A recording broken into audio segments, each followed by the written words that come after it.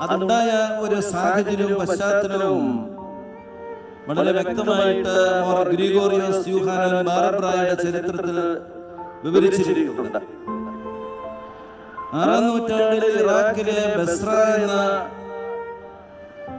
പട്ടണത്തിൽ നിന്നും ഉത്ഭവിച്ചതായ ഒരു നോമ്പാണ് പരിശുദ്ധ ദൈവമാതാവിന്റെ ജനന പെരുന്നാളോടനുബന്ധിച്ചുള്ളതായ എട്ട് നോമ്പ്.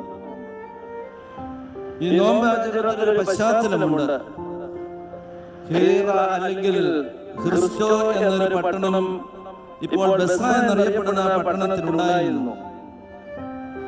ആ പട്ടണവാസികൾ മുഴുവൻ ക്രിസ്ത്യാനികളായിരുന്നു. അവിടുത്തെ ശ്രേഷ്ഠത എന്ന് പറയുന്നത് അവിടുത്തെ സ്ത്രീകളെല്ലാം വളരെ സൗന്ദര്യമുള്ളവരായിരുന്നു.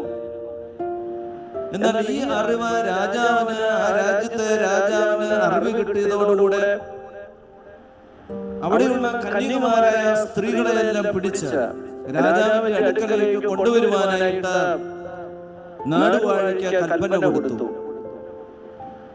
എന്നാൽ ഈ സമയത്ത് അവർ ഭയന്നു പോകാതെ ഭയചകിതരായി തീരാതെ അവരുടെ പള്ളിയിൽ എല്ലാവരും ഒന്നിച്ചുകൂടി. നോമ്പോടും വിശുദ്ധ കുർബാനയോടും കൂടെ പ്രാർത്ഥിക്കുകയും ഈ രാജാവിന്റെ അവിഹിതമായ ആഗ്രഹം അദ്ദേഹത്തിൽ നിന്ന് മാറിപ്പോകണമെന്ന് മുട്ടിപ്പായിട്ട് കണ്ണുനീരോടുകൂടെ ജാഗരണത്തോടുകൂടെ പ്രാർത്ഥിക്കുകയും ചെയ്തു.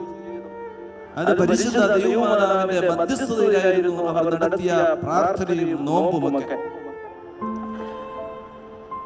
അത്ഭുതകരമാണ് അവസാനത്തെ ദിവസം എട്ടാമത്തെ ദിവസം വിശുദ്ധ കുർബാനയുടെ സമയത്ത് അവരുടെ നോമ്പിന്റെ തീവ്രതയും തീഷ്ണതയും മുഖാന്തരമായിട്ട് ഈ ചക്രവർത്തി മരിച്ചു എന്നുള്ളതായ ദർശനം അവിടുത്തെ എപ്പിസ്കോപ്പായിക്ക് വെളിപ്പെട്ടു വന്നു.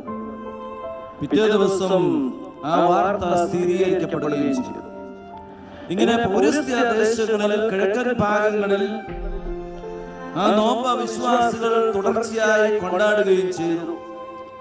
അങ്ങനെയാണ് പരിശുദ്ധ ദൈവമാതാവിന്റെ ജന്മപെരുന്നാളോടനുബന്ധിച്ചുള്ളതായ എട്ടു നോമ്പ ഈ സഭയിൽ കടന്നു വന്നത്.